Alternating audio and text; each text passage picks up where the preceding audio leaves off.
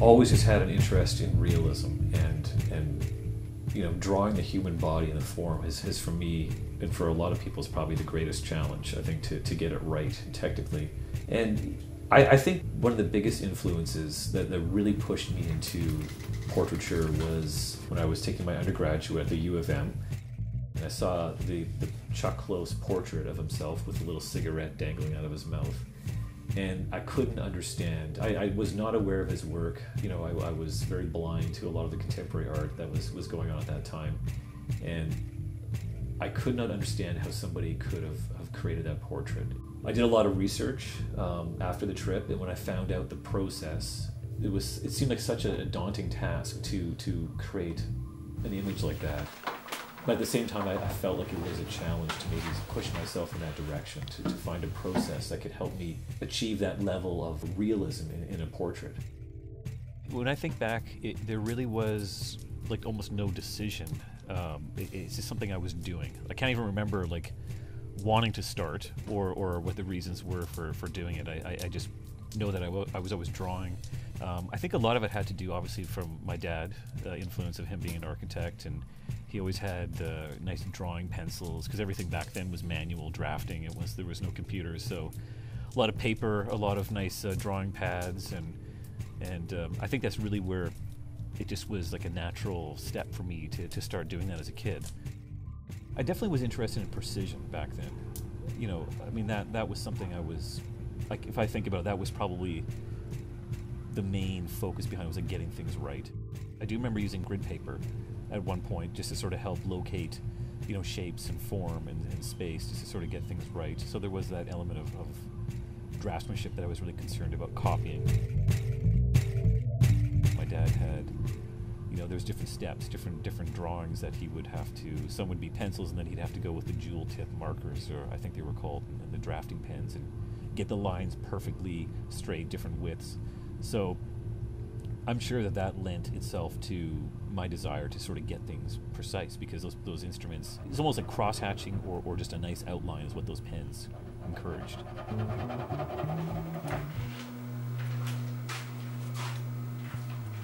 The, the portraits where you can see flesh and hair, and it's, it's somebody with their eyes closed or they're, they're turned away, like looking into the into the, the painting, and you're looking at their back of their head. I mean that that for me is very much you know about an urban experience. Again, like this density of the crowd um, in, a, in, a, large you know large busy city setting, a street corner or a subway car, or an elevator where you're just really close up to a stranger, closer than you and I would be, or, or you know just two friends hanging out. You would never invade somebody's personal space like that. But in these large urban settings, that happens always. You mean whenever you're in a busy place, and, and you you don't have a problem with it you just accept those conditions because you have to because everybody's just trying to get from point A to point B, and there's times where we're going to be that close where you can, you know, if you're standing in, in a subway car and, and somebody's like six inches away from you, you can see the back of their head.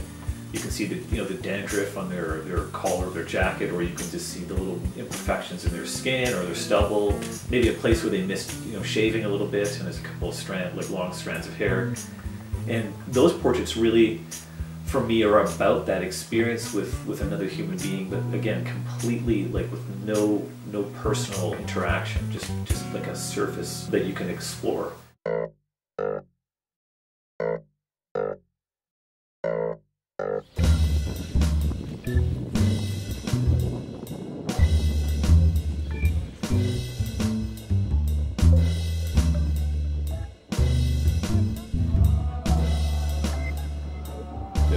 Metropolitan Museum of Art was was a huge influence. I mean, I, I, I tried to go there um, almost every Sunday for a while because it was a short little walk from my university housing through the park to the Met, and um, you know I try to go every Sunday morning, take a little bit of time off from the studio, um, and just just go look at paintings.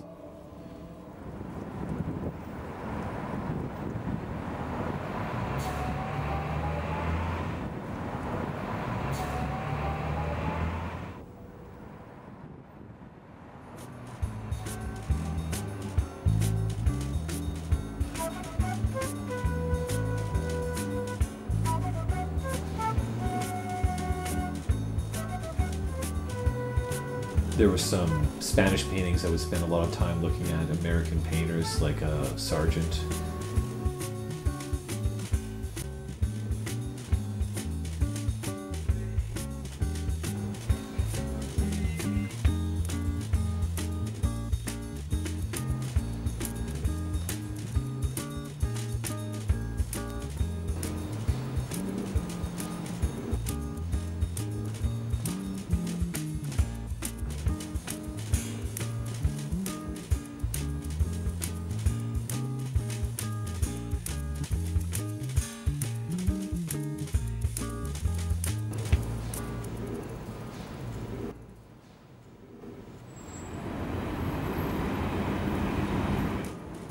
I also went to the Frick quite a bit because I felt like you could go there and, and, really look at almost every painting in that collection because it's smaller and not quite as busy, and you could have a little bit more of an intimate experience.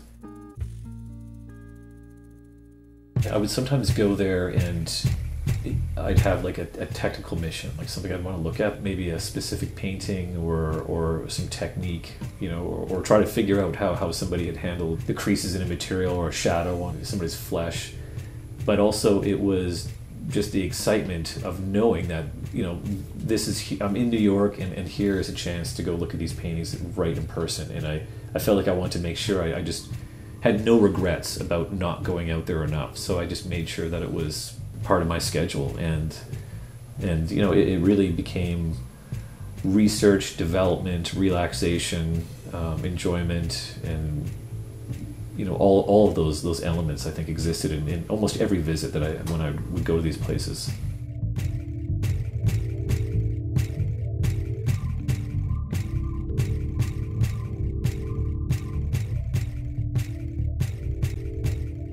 It's almost like I could go there and relax from the New York, the pace of, of the New York City, like like craziness, and recharge my batteries at the same time like wander around and, and, maybe not even think about the paintings but but the, the spaces were so quiet and intimate i could relax and then i could also just tune back into the paintings and, and enjoy them. And then i could leave and I, I, would feel like i had some kind of a, a like a moment of rest or or just some personal space from the craziness. And i'd go back to my studio and, and just feel invigorated to start painting again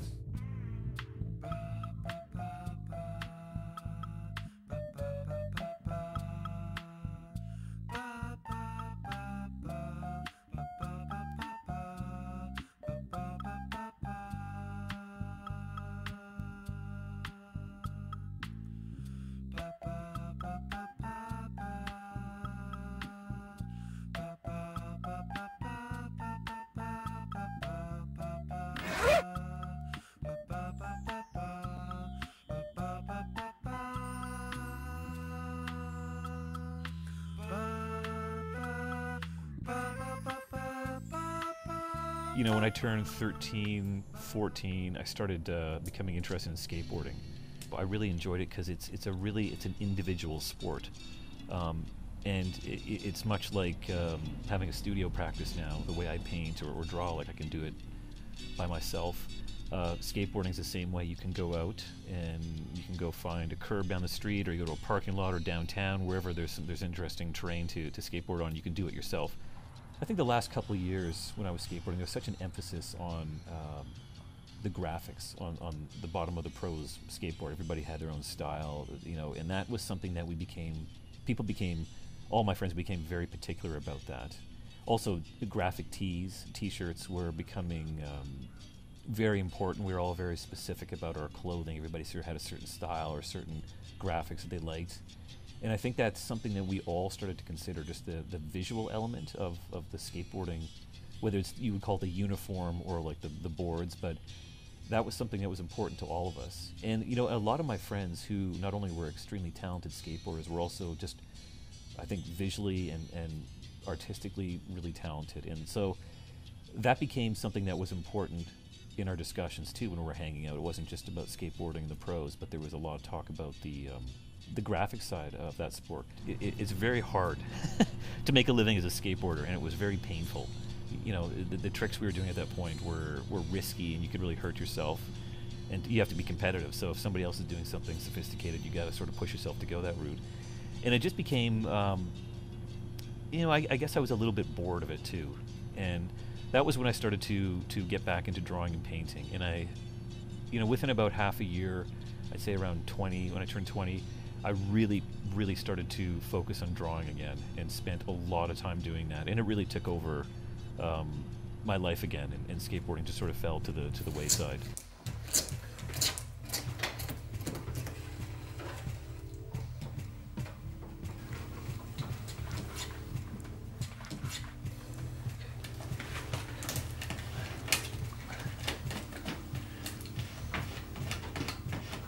Generally, I'll sort of plot in um, dark shadows or really dark lines and creases, and I usually try to paint um, information that's farthest away in the painting, and then meaning surface areas that are, are farthest away, and then I, I try to you know finish with the, the surface areas that are on top. I just find it, it, it just I can control light and, and form better that way.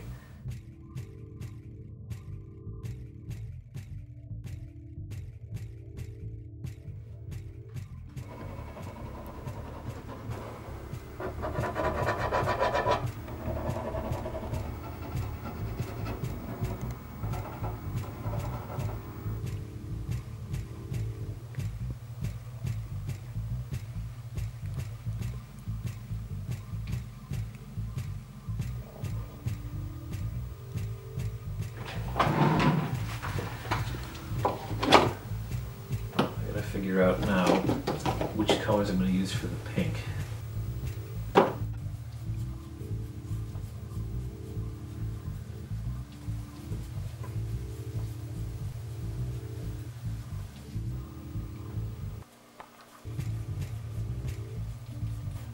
I'll have to sand it down. It's already starting to build up a little, with some ripples and imperfections there from uh, just glazing in those, the darker areas. It, it somehow it makes the surface less sticky, so I can do another couple of layers.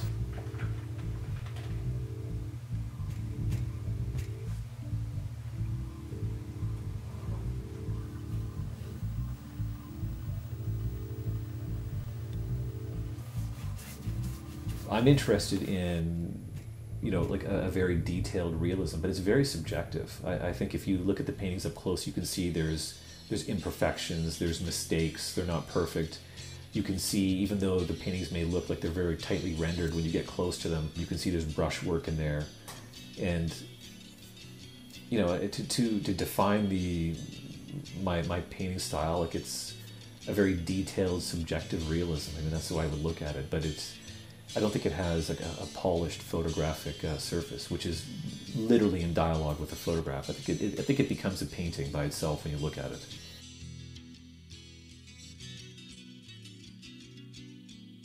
I prefer to paint on wood because there's no bounce. Uh, I found that with canvas, um, especially with the way I like to glaze, uh, the canvas could move around too much, and it was hard to to put down the layers with with accuracy. And so the, the, the hard surface just allows me to really spread the paint around on thin glazes, and it just I feel like I have better control of the paint that way. I also feel that my work has got a lot of historical references to Renaissance portraiture and wood panels as a traditional substrate. So it's a bit of a bit of a, an homage to the past, but also uh, a way to, to let my technique um, sort of feel more comfortable as I'm painting. I'm a little anxious just to see how, how it's going to feel when it's done. I, I think it's going to be a strong painting, and I, I think it's going to be, mo- most importantly for me, it's going to be really a, a sincere move. This is the first painting where I've really removed, you know, pretty much all reference to the figure, except that the, the fabric is, is still fabric worn by people, but because it's floating and there's no reference to to the figure inside of it, it's uh, for me it's it's the the biggest move into abstraction that, that I've taken at this point. Now, you know, for the for me the figure is maybe not that important at all, and it's really about making the image of, of the, the painting reflect more of, of the, the process of the painting where I'm, I'm spending time again thinking about those those primary for me primary um, ideas of, of the painting color form structure shape so I thought I would just find a way to to remove the figure completely I keep telling myself the painting is um, it's very organic. It's it's got so many little imperfections in it that there's no way the painting's going to be perfect. There's always going to be little areas that are, are sort of don't have the, the exact same language as, as the entire painting does. So it's it's a matter of just sort of settling with that and you know loving the painting for the way it is and, and just sending it out to the world.